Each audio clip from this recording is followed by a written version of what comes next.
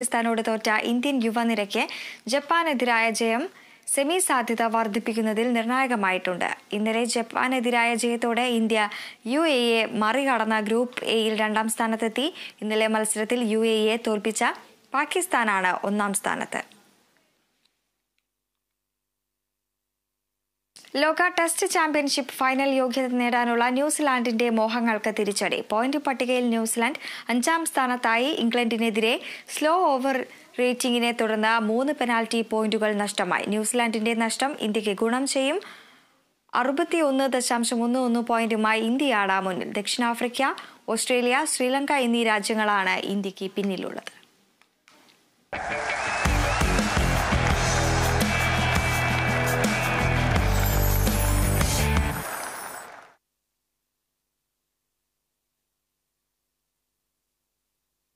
തിരുവനന്തപുരം ബാലരാമപുരത്ത് വൻ കഞ്ചാവ് വേട്ട ക്രിസ്മസ് ന്യൂ ഇയർ വിപണിയിൽ വിൽപ്പനയ്ക്കായി എത്തിച്ച എട്ടര